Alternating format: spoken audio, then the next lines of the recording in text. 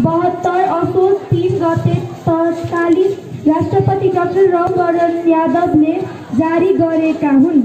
यसमा उन उन्चालिस भाग तिन सय आठ धारा नौ हो छ। यसमा भागको धारा उन्चालिसमा बालबालिकाको हकको उल्लेख गरिएको छ। धन्यवाद निलम वर्ष प्रत्येक बालबालिकालाई आफ्नो पहिचान सहित नामकरण र जन्म दर्ताको हक हुनेछ। धन्यवाद रविना वर्ष प्रत्येक बालबालिकालाई परिवार तथा राज्यबाट शिक्षा स्वास्थ्य पालन पोषण उचित स्याहार खेलकुद मनोरञ्जन तथा सर्वाङ्गीण व्यक्तित्व विकासको हक हुनेछ। ल बस निरज। ल अब राजनको के भनाइरहेछ हेरौँ त प्रत्येक बालबालिकालाई परिवार बा बाल विकास तथा बाल सहभागिताको हक हुनेछ।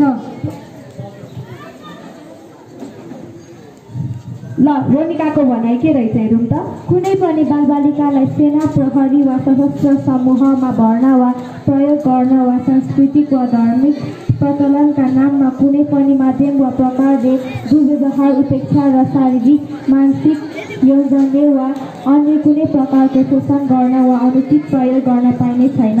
धन्यवाद रोनिका बस त अब सुविस्ताको भनाइ के रहेछ हेरौँ त। उपधारा चार पाँच छ र सात विपरीतका कार्यक्रम बमोजिम दण्डनीय हुनेछन् र त्यस्ता कार्यबाट पीडित बालबालिकालाई पीडितबाट कानुन बमोजिम क्षतिपूर्ति पाउन हक हुनेछ धन्यवाद सुविस्ता राजीवको भनाइ के रहेछ हेरौँ त।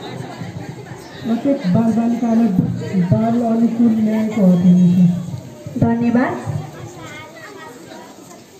पिपिसाको भनाइ के रहेछ हेरौँ प्रत्येक बालबालिकालाई आफ्नो पहिचान पहिचान सहित नामकरण र ज- जन्मदर्ताको हक हुने- हुनेछ बस।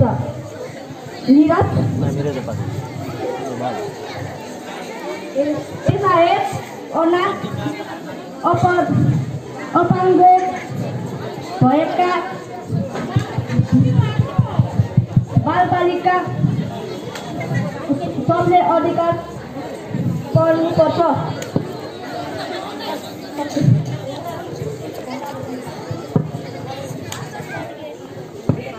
आशा छ हजुरहरूले यस नाटक